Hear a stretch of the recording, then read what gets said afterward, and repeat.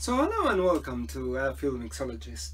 Um, today we're going to do something a little bit different uh, than we do generally and this is going to be about um, my lawnmower. Now last weekend uh, I was kind of cutting my grass and all of a sudden the machine came to a to a very sudden halt uh, in a pipe and it was on the ground uh, and I tried to turn it and the, the machine is completely stuck. And I found this little bit of metal on the ground. That this isn't really a really good sign. Um, so what I'm going to try and do now is I'm going to try to disassemble this uh, see what's wrong with it do a bit of an autopsy and try to see if I can fix it. So that's the task for today basically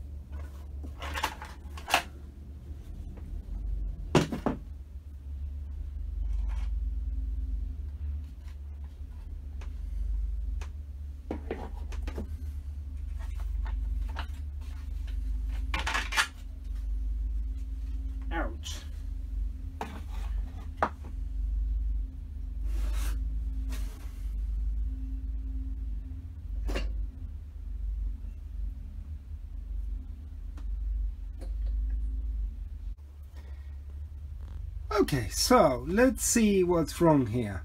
Um, evidently this thing has completely shared off this uh, flywheel and also in the process of sharing off it also broke uh, this that keeps this pickup it, this this must be the inductive pickup for the uh, for the sparks so therefore um, I think this is the problem with this engine um, so what I'm going to try and do now is I'm going to try to do the right thing and just just put a touch of JB Weld uh, and try to epoxy it in place and see if I can get uh, the engine running again. So I took the cover off now and as you can see things are well quite bad in the sense that for example the flywheel has a very big crack here and I think that's gonna be um, that's gonna be difficult to sort out. Um, but that's never stopped me trying before so let's try and see if I can take this off and start see how I can I patch it back together. So I worked out that the small part I showed you at the beginning of the video belonged actually to the flywheel um, at the back here. Um, so what I did is obviously I created a kind of I've, I've done it with epoxy and I use these two vice grips as a kind of holding down device.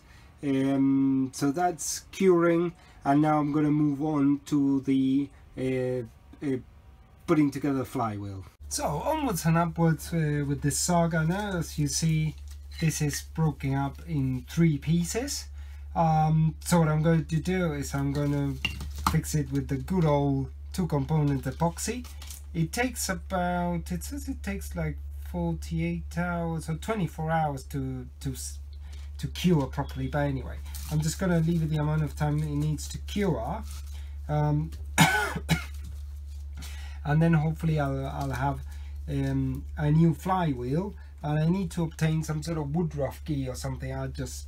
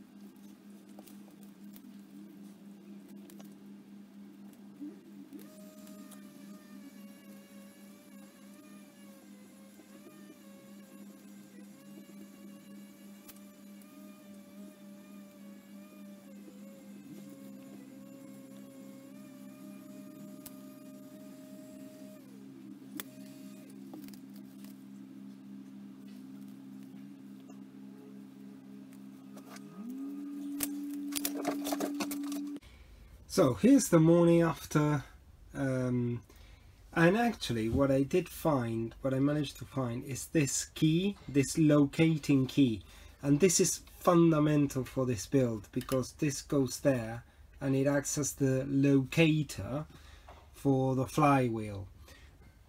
So now that that and the flywheel now as you can see here is is well stuck together basically so now what I need to do is I need to do a couple of trial fits in here make sure everything more or less fits together. And what I'm going to do is I'm going to once I do the final the, the final fitting of the flywheel uh, I am going to kind of epoxy it in because obviously as you can see as you can see here this this area is is not very good. So therefore I think the the flywheel needs to be stuck uh, to this piece in order because if not the timing is going to be a bit off. And this and and the other thing that I did I think you can see down there is I will I epoxy back this two these two towers. Um, so now I think we're more or less ready to start mocking up the build and I might need to file a few things and just and just make sure I remove all the sharp edges from here. Okay so now the flywheel is in place. What I did is I, I placed it and I put um, a socket on top and I and I gave it a couple of very gentle taps with a rubber hammer. I don't want to bash it in place too much uh, because I don't want it to uh, I don't want to damage the piece but I'm to give it a couple of um, I'm uh, I'll give it a couple of taps um, so that it's so so that the piece is in place solidly. It is quite solidly in there is no play. And then I need to obviously wait until the epoxy in there dries out but I can start building up all the rest of the components now. So I've got the flywheel installed here. Um, and, and this is this part is okay but now I've run into a another problem which is this that the towers that held the um, the inductive pickup for the ignition uh, they would just the, the weld just wasn't strong enough. So what I'm gonna have to do now is I'm gonna try a plan B here which is gonna be drilling this further further down and trying to put some metal pins in here to be able to better support. And okay so this is phase one. I've already done I've drilled a hole and with a tap I created a thread here. So I'm gonna get a section of threaded rod.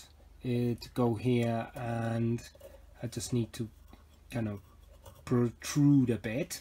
So I just need to measure this and I need to try and now doing the same on this one it's going to be a bit more complicated because it's, it's very much against against the engine. So what I'm going to have to do is I'm going to have to just sink the threaded rod. But if I've got a bit a bit of thread in each one then that's going to make the um, this little towers um, um, much harder to move